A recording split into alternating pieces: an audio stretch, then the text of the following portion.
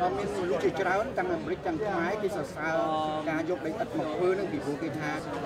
ជំនុំរងមើលទៅគេអាចថាអូនេះជាឪពុកខ្ញុំនេះជាម្ដាយខ្ញុំនេះជាបងប្អូនខ្ញុំបាទបាទលោកមានចិត្តនៅពេលដែលលោកធ្វើគឺដើម្បីគុំឡើងនឹងដែរបាទបាទខ្ញុំថា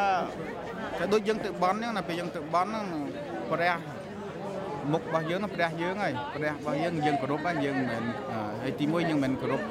អឺតែអត់ទេយើងគោរពស្អីនឹងក្រោយព្រលឹងនឹងក្រោយអ่ะអាអាព្រ លឹងនឹងក្រោយរូបចម្លាក់ហ្នឹងបានបានមានសិទ្ធមានបានមិនដូចដូចរូបដូចរូបវាអត់ចឹងយើងកណៃឃើញរូបវាអត់ដូចជាពុកណៃតែព្រលឹងព្រលឹងពុកណៃហ្នឹងចូលមកវាអត់នឹងព្រាមហ่ะយើងគ្រប់រូបវាយើងអាចដើរតាមកន្លងជីវិតរបស់គាត់នៅស្វែងរកការយល់ថាគាត់រស់នៅយ៉ាងម៉េចយ៉ាងម៉េចប៉ុណ្ណាណាទៅតាមទៅតាមខ្ញុំថាគំនិតហ្នឹងខ្ញុំយកមកគាត់ឃើញព្រាមឃើញ